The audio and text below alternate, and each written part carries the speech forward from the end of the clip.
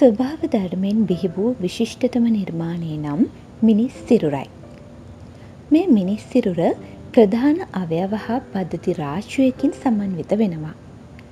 මිනිස් සිරුරේ ජීවමාන පැවැත්ම තහවුරු වන්නට නම් මේ සියලු අවයව හා පද්ධතීන් වල මනා ක්‍රියාකාරීත්වය අතිශය වැදගත්. මේ වීඩියෝ මාලාවෙන් අපි අද පටන් ඉගෙන ගමු මිනිස් සිරුරේ මූලික අවයව පිළිබඳව. ඉන් පළමුවෙන්ම අපි කතා බහ කරන්නේ ඇස පිළිබඳවයි. ඇස යනු මිනිස් ශරීරයේ ඇති වැදගත්ම අවයවයක්. ලෝකය දකින්න ජීවිතය දකින්න ඇස නැතිවම බැරි අවයවයක්.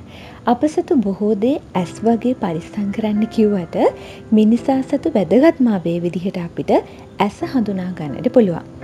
එසේ නම් අපි අද කතා කරමු ඇසක දක්නට ලැබෙන මූලික කොටස් කීපයක් පිළිබඳව ඉතා සරලව.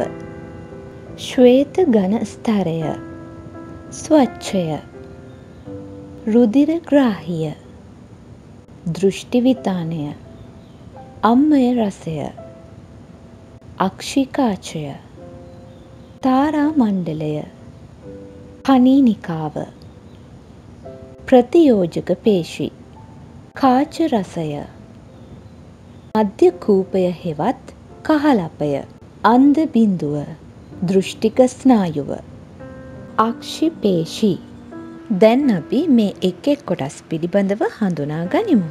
ශ්වේත ගනස්තරය මෙය අක්ෂගෝලයේ බාහිරින්ම පිහිටා ඇත. ආලෝකයට විනිවිදයා නොහැකි සුදු පැහැති ගනස්තරයකි. ස්වච්ඡය. තාරා මණ්ඩලයට ඉදිරියෙන් පිහිටි ශ්වේත ගනස්තරය තුනීවීමෙන් හා පාරදෘශ්‍යවීමෙන් සෑදී ඇත. රුදිරග්‍රාහය ශ්වේත ගන ස්තරයට ඇතුළතින් මෙය පිහිටා ඇත. ඇසට අවශ්‍ය රුදිර සැපයුම මේ මගින් ලබා දෙයි. දෘෂ්ටි විතානය රුදිරග්‍රාහී ස්තරයට ඇතුළතින් පිහිටයි. ආලෝකයට සංවේදී යෂ්ටි සෛල සහ කේතු සෛලවලින් සමන්විත වෙයි. අම්මය රසය මෙය පාරදෘශ්‍ය ජලීය ද්‍රව්‍යකි. අක්ෂිකාචයත් ස්වච්ඡයත් අතර අවකාශය මෙයින් පිරී පවති. අක්ෂිකාචය වක්‍රතාව අවශ්‍ය පරිදි වෙනස් කරගත හැකි පාරදෘශ්‍ය ද්වි උත්තල කාචයකි. දෘෂ්ටි විතානය මත ප්‍රතිබිම්බ නාභිගත කිරීම මෙමගින් සිදු කෙරේ. තාරා මණ්ඩලය ඇසට ඇතුළු වන ආලෝක ප්‍රමාණය මෙමගින් පාලනය කරයි. ව්‍යවහාරයේදී මෙය කළු ඉංගිරියාව ලෙසද හඳුන්වයි. කනීනිකාව තාරා මණ්ඩලය මධ්‍යයේ පිහිටි වෘත්තාකාර සිදුරකි.